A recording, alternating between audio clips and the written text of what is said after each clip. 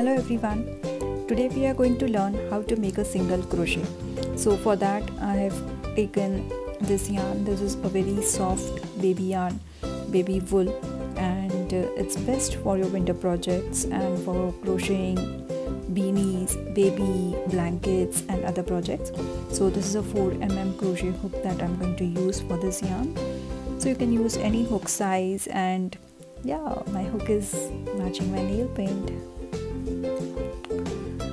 so I hold the yarn twisting it around all the four fingers in a zigzag manner. And I hold the hook like a pencil. I'll start off with a slip knot.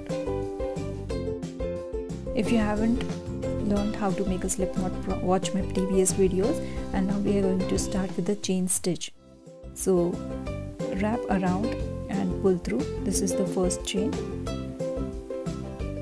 So the first chain make sure that you're not making your stitches too tight or too loose as we had discussed in the last video. You can go back and watch my previous video for the chain stitch as well. So keep on making the chains. You can do as long as you want for your project to be. For my project i'm going to do 20 stitches. So yarn over and pull through. Yarn over and pull through. Yarn over and pull through. Yarn over pull through. And keep going on until you have the desired length for the project. So with this single crochet chain stitch you can do is form your base. Now I have come across and made my stitches. And I have to make one additional stitch for the row 1 to turn my work. So 20 plus 1 21 stitches. Now go in the first stitch that you have made the first chain. Insert your hook in that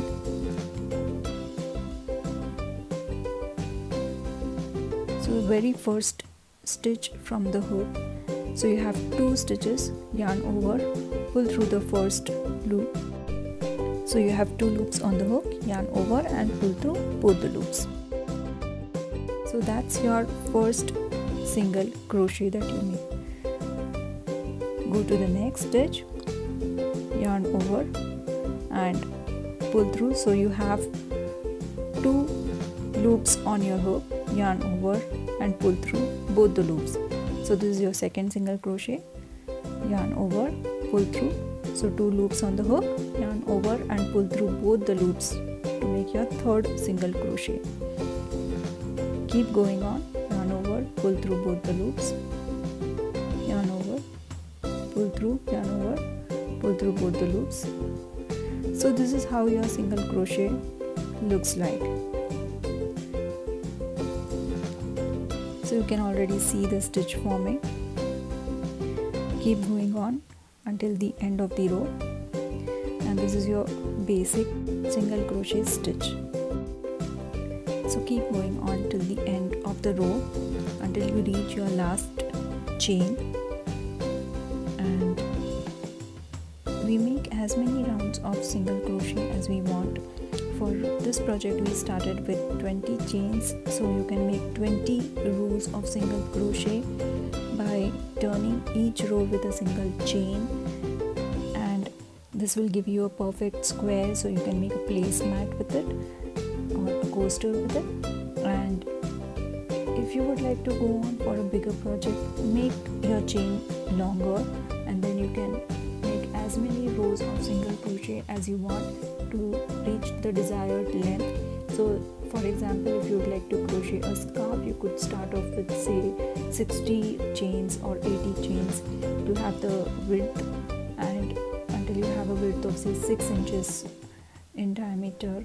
And then you can go across to the length to have say 100 or 200 rows of single crochet to make the scarf as long as you want so this is a very basic stitch but you can have lovely projects done with this single crochet stitch. Now we have reached the end of the row and you can see this is the single crochet row. Now again I will be doing one more chain and then turning my work to begin the second row of single crochet this is all you need to keep on repeating. This is the back side of the single crochet.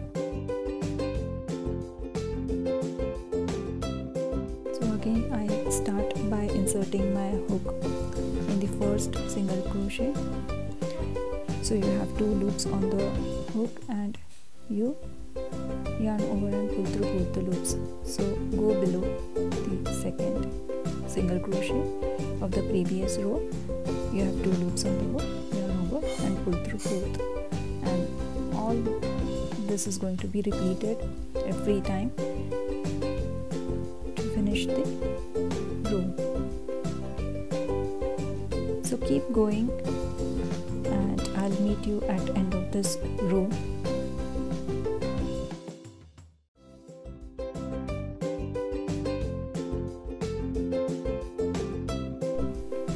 so we have reached the end of this second row and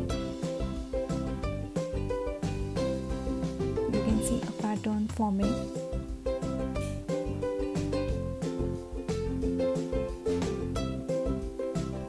So my last single crochet. So I've done my last single crochet of this row and you can see my row has finished and you get a good pattern out of it. So practice your single crochet. Happy crocheting